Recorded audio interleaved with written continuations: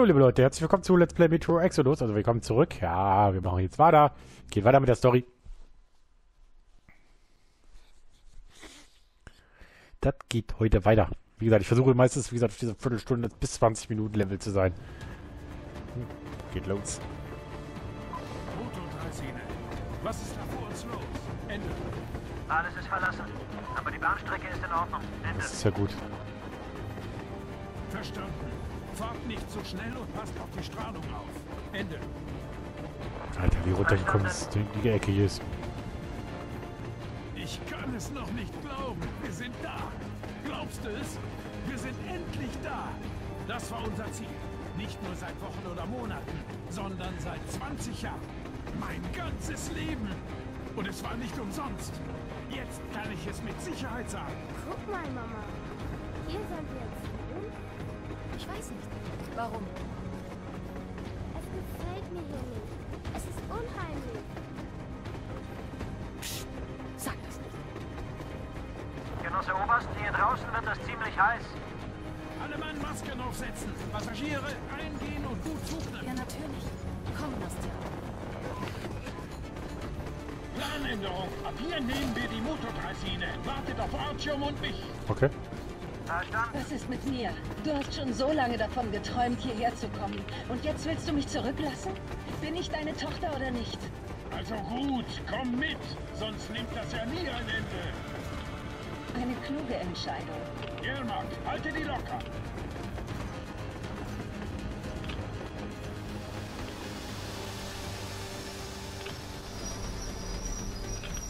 Ach, die sind schon vorausgefahren mit der Draisine.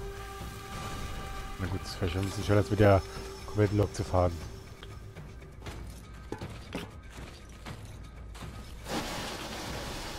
So.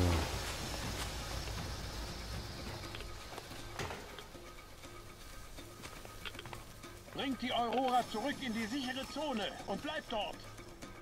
Machen wir sofort. Stefan, du übernimmst die Führung, solange ich weg bin. Jawohl. Sehr gut. Auf geht's. Schlimmer. Ja, sieht so aus.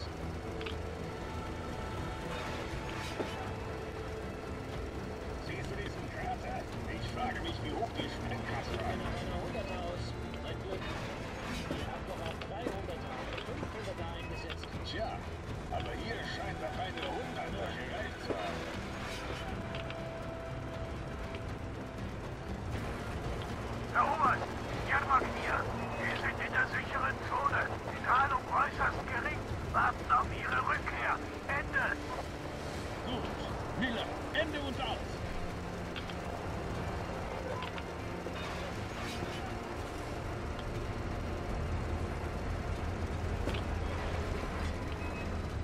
Sieh dir all diese Autos an.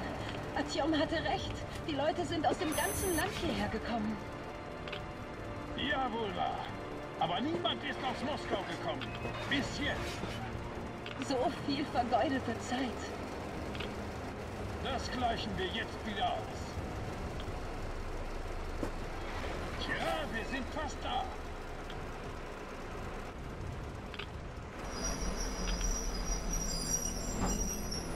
Oh, oh, oh, Das ist kein guter Ort. Wir hätten wirklich nicht hierher kommen sollen. Äh, wo ist jetzt mein Begrüßungskomitee mit dem roten Teppich? Das frage ich mich auch gerade. Seht ihr? Keiner zu Hause. Wie wär's, wenn wir umkehren, ne? Was? Da!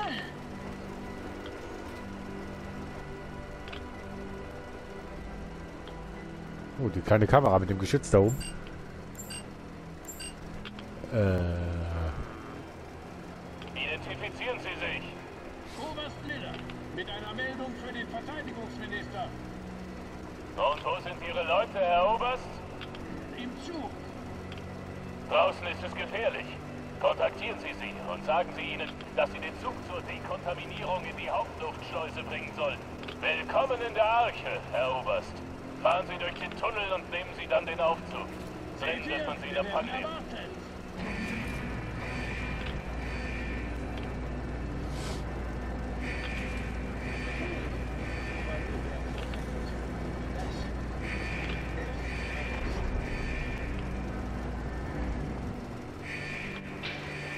ist hier alles so verlassen. Keine Waffenstellungen, keine Patrouillen. Wozu sollten Sie die brauchen? Ein Atomsprengkopf würde hier nichts bewirken. Ziemlich merkwürdig gerade so ein bisschen.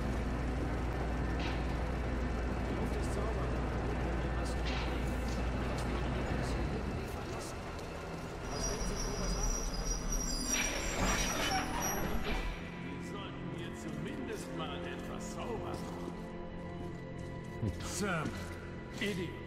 Wisst ihr was? Wir müssen nicht alle zur Regierung, also bleibt ihr besser bei Crest. Jawohl. Jawohl.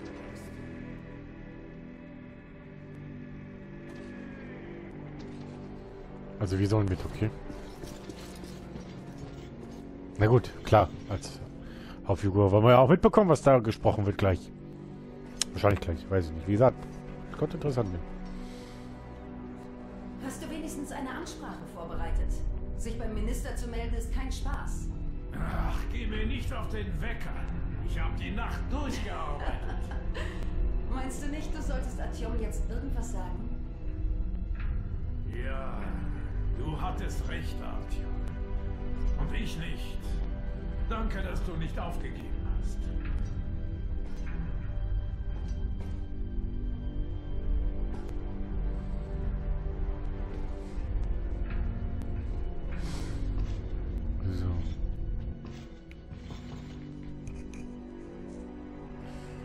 Wird schon schief gehen.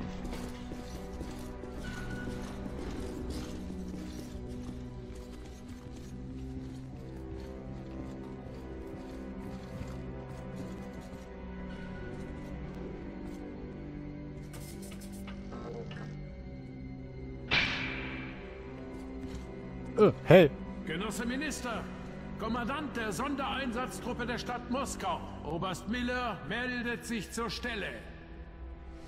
Ich möchte darum bitten, dass meine Leute vorübergehend mit Quartieren und Vorräten versorgt werden. Es befinden sich auch Frauen und Kinder unter uns. Unsere Kämpfer sind jedoch noch in Form und einsatzbereit. Frauen und Kinder? Gut, die hatten wir schon lange nicht mehr. Wer sind Sie?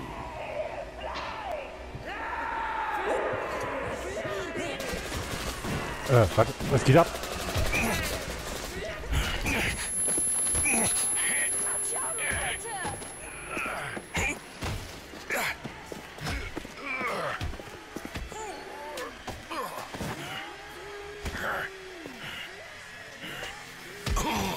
Ah, Kopfschmerzen.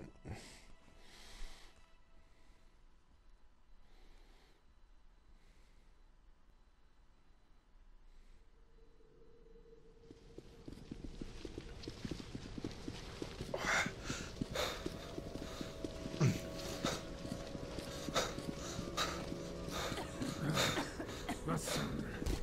Wo bin ich? Wo sind die anderen? Alles läuft wie geplant. Alles ist gut. Bis jetzt. Bis jetzt? Ich verlange ein Treffen mit dem Verteidigungsminister. Sofort! Keine Sorge, alles wird gut. Und sogar noch besser. Der Minister und der Anführer höchstpersönlich erwarten Sie zum Essen. Essen! Was zum Teufel? Wollen Sie mich verdammt nochmal verspotten? Klappe! Der Doktor spricht! Wo ist die Regierung? Antworten Sie! Hier, Herr Oberst, hier. Wir sind die Regierung, die Sie verdienen. Wage es nicht, du Mistkerl! Ihr seid doch nur... nur verdammte Kannibalen! Beruhigen Sie sich, sonst bekommen Sie noch Gelbsucht. Und glauben Sie mir, diesen bitteren Geschmack mag keiner. Das Mädchen muss allerdings noch warten. Wir müssen sie erst untersuchen. Binde Ihr meine Husten Hände los, du. Wichser! Dann stecke ich dir deine Untersuchung so tief in den Arsch, dass sie oben wieder rauskommt. Achten Sie auf Ihre Wortwahl, junge Dame. Machen Sie es wie der junge Mann. Er ist vor langem aufgewacht und hört auf, kluge Mensch. Du Scheißkerl! Lass mich... Lass mich los!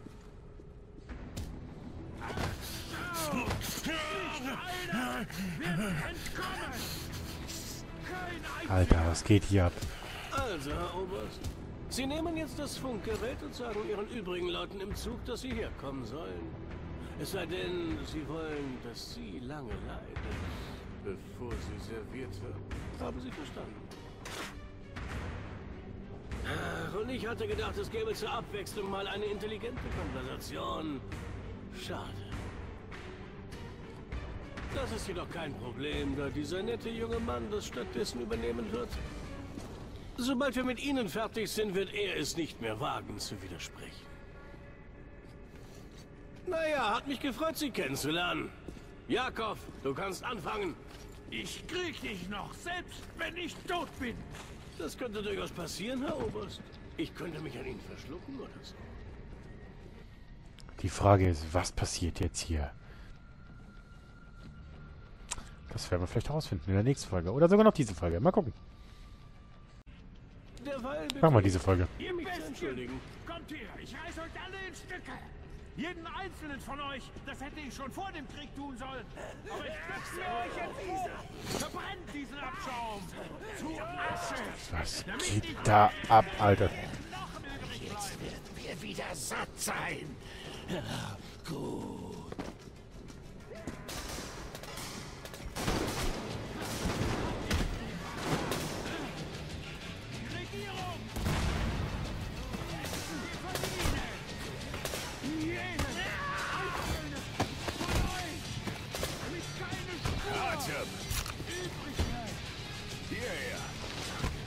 Gut, dann auf geht's.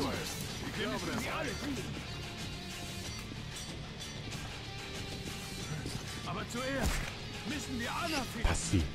Tut mir leid, mit diesem Aufzug bin ich wohl zu weit gegangen. Zum Teufel damit, Idiot! Hol den Hauptaufzug hoch!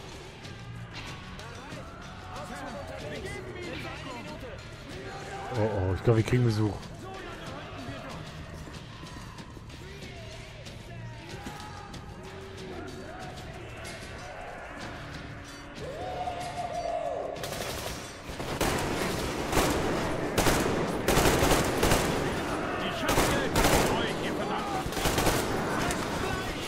Alter, was geht bei denen jetzt ab gerade, ja?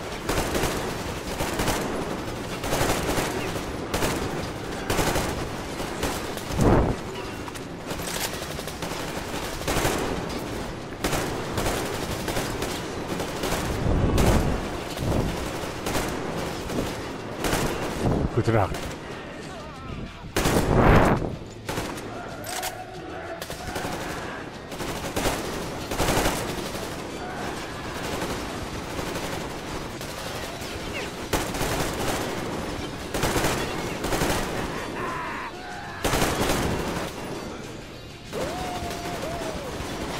Все дает.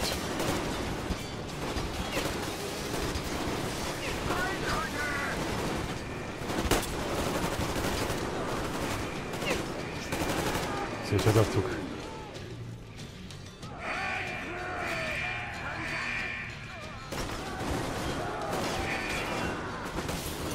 Амулет темный.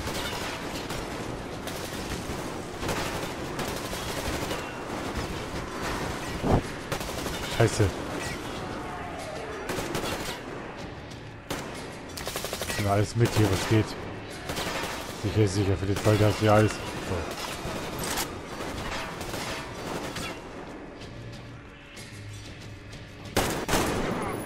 Den einen habe ich ja noch mitgenommen. Alter, was ging da ab? Selbst der Aufzug ist genau derselbe. Was für ein Glück. So besteht Hoffnung, Anna zu finden. Der Komplex ist allerdings riesig. Und wir haben maximal zehn Minuten. Also müssen wir uns aufteilen. Sam, du siehst den Filterraum. Und in der Generatorenhalle und dem Lager nach. Idiot, du kommst mit mir zur. Kommandozentrale. Archop, du übernimmst die Unterkünfte und das Krankenlager. Was?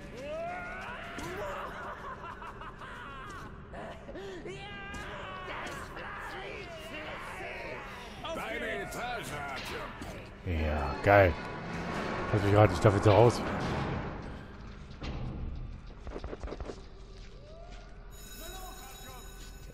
Äh, Ja, Kann ich mir mal bitte... Äh. Ja, komm. Aber das machen wir in der nächsten Folge. Dann bis morgen.